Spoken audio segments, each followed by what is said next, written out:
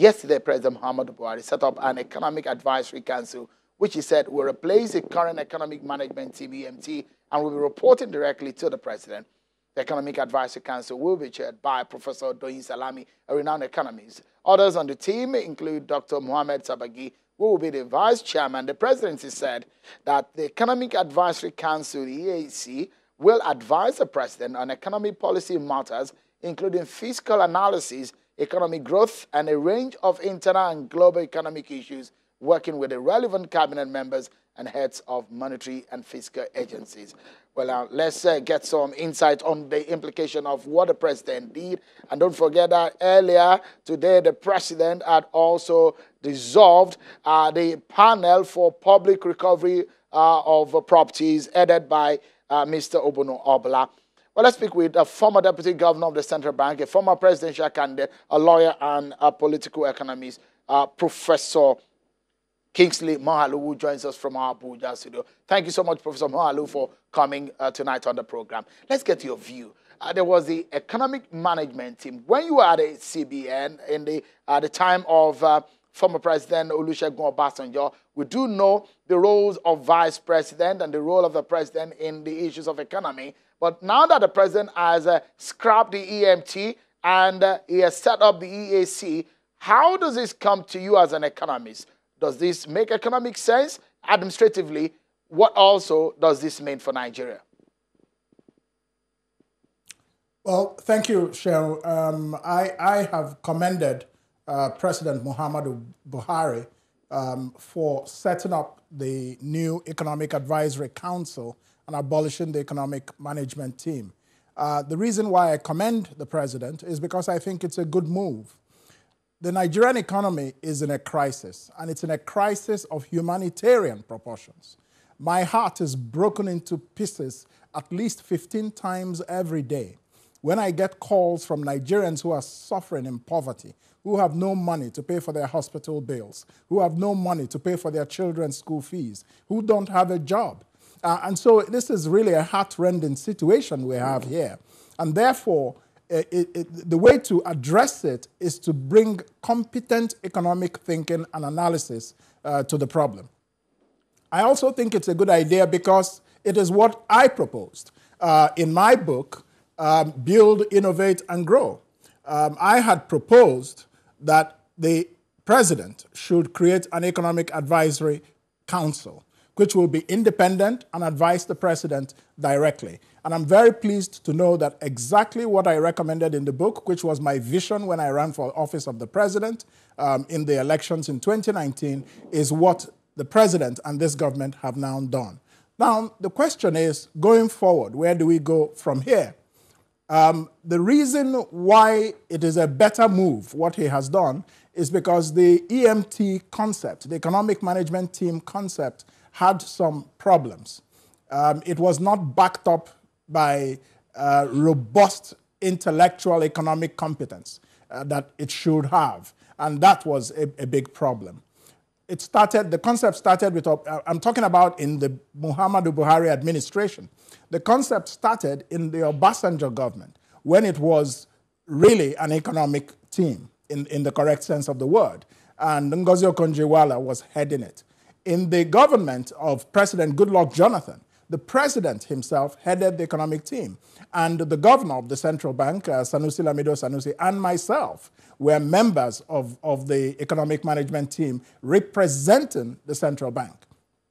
But I noticed, um, and I did convey my concerns to uh, Ngozi Okonjo-Iweala, uh, that there were some problems with the whole concept. It, it seemed that there was no philosophical foundation, which is what I've been saying that the Nigerian economy lacks an, a philosophical foundation. And so you cannot plan for the long term. You cannot have policy that is consistent over time if you don't have a philosophical foundation. Also, in Jonathan's era, the economic management team had a very heavy presence of private sector captains. Now, that's good in itself, but it also had some problems because a lot of times those uh, kinds of personalities, they want the economy to function, but they're also looking out for their own business interests at the end of the day. Um, and then another problem was that, you know, it became what we call in law an article of snub appeal. Everybody wanted to be a member of the economic management team so that they could get face time with the president um, MDA heads, ministries, uh, departments, and agencies lobbied to make presentations with PowerPoints to the president, all of which amounted to nothing really. Uh, because I think an economic team should be thinking, monitoring the economy on a daily basis and trying to find solutions to foundational economic problems, not just what the president can do for your own particular agency or your own particular ministry. So I think what the president has done now is to go back to what could be a better approach to managing the economy. But Professor Moghalu, for uh, a lot of you who have advocated for uh, equal partnership between the public sector, the federal government, in doing business and the private sector, uh, we had a broader EMT that has uh, uh, a lot of the private sector players in that team the governors, uh, some other heads of other agencies that are, are spearheading out other aspects of the economy uh, together. So the question is that where does this leave all of these people? Also, in the face of the fact that the EMT being headed by the vice president administratively, are you saying that the EMT has failed in the first four years of President Buhari? There is no question in my mind that the EMT failed because the economy went into recession and uh, we were just struggling to come out of it. So there's no question that the economic management of Nigeria under this government has so far been a failure. Um, and I'm on record as saying that, and that's a very important reason why I ran for president, because I felt I had a, a better, more robust economic vision. Uh, part of that vision is this idea, which they have now taken. And that's good because the question, why, the reason why we do what we do is, you know, how can the country make progress? That's why we're doing it. You know, so um, I don't think the others are left out because even in the uh, concept, the framework that I have seen, there's room for the Economic Advisory Council. First, they should report directly to the president. That's what it should be because the president ultimately is the person who is responsible for whether Nigeria's economy works or fails for whether people have jobs or they don't have jobs. 54% of youth in Nigeria today are unemployed. That's a crisis. And we elect a government to be able to make life better for our masses.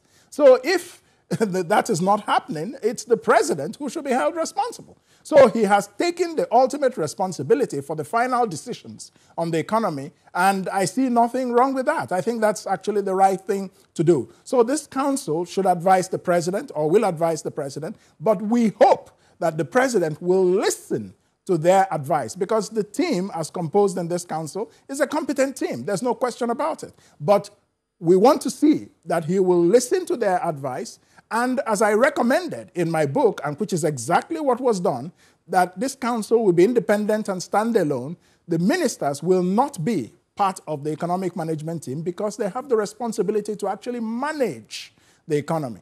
So when the council advises the president, if the president agrees with their advice, he should then direct the ministers to execute these economic um, agendas. That's what I think. I think there's room uh, also for the involvement of others, such as the vice president, such as the private sector. There needs to be a better consultative forum um, between the government and the private sector. In my book, I recommended the creation of a State Business Relations Council, SBRC. It's also in this same chapter where I recommended the All creation right. of an Economic Advisory Council. The president is making some very drastic decisions about the economy. So he set up the Economic Advisory Council headed by Professor uh, Doyin Salami. And uh, that has uh, a lot of people in that committee, which will advise the president directly. They're supposed to report to the president. As against the economic management team headed by the vice president, which the president scrapped. Another thing that the president has scrapped today is uh, uh, the panel headed by Obono Obla which was uh, set up to by the vice president when he was acting president, when the president was not around in the country. It was set up to recover public asset. The president today scrapped that panel. So he has asked the Attorney General of the Federation, Mr. Malami, to take over the investigations from that panel. Let's get to, uh, back to our conversation with Professor Kingsley Moghalu, uh, a political economist and a former central bank deputy governor. Uh, thank you so much, Professor Moghalu. Quickly, let me get your reaction. Under the office of the Vice President is housed the, the social investment uh, program, the welfare rich agenda of uh, uh, the Buhari government, at least in the first four, uh, four years of this government. And under that program, the ELGP is what they said that they want to get 100 million Nigerians out of poverty in 10 years. Part of that 10 years is four years of the second term. So, how, where does this leave the vice president's agenda and the plan in all of this welfareist agenda? Well, um, thank you, um, Shaun. I think I should say, first of all, I think I should say, first of all, that the, the management and the Nigerian economy's performance is the responsibility of the elected president of the Federal Republic of Nigeria.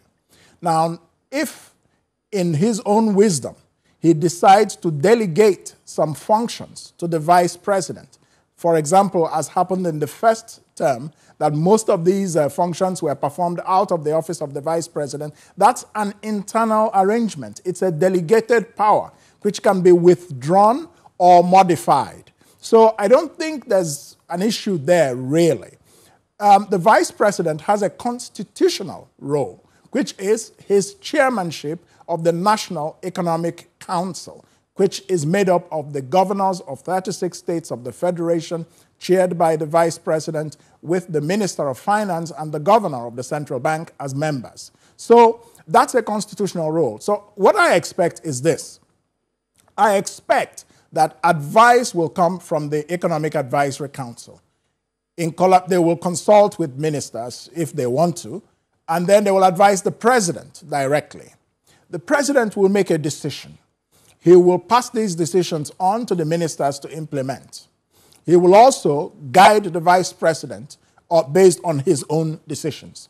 These decisions will be brought also to the National Economic Council, chaired by the vice president, so that state governors can discuss them and adopt them at state levels as a national approach to economic problems. You talked about uh, 100, taking 100 million people out of poverty. That's a very grand ambition. But to be able to achieve it, a lot more has to be done that we have not yet seen being done, which I come back to. Uh, one of the first tasks is a foundational economic philosophy for the Nigerian state, based on which economic policy can be made into the long term, regardless of which government is in power. So there are, there's something people need to understand, and I hope that this Economic Advisory Council will address that problem. I don't expect them just to be talking about GDP growth. GDP growth is important, but it's not enough. What about GDP per capita? What about the average income of the average Nigerian? This has been going down over the last four years since 1915. Nigerians have been getting poorer. That's a statistical and empirical fact. So we have to look at not just economic growth, but we have to look at economic or human development. What is the quality of life of the Nigerian right. people?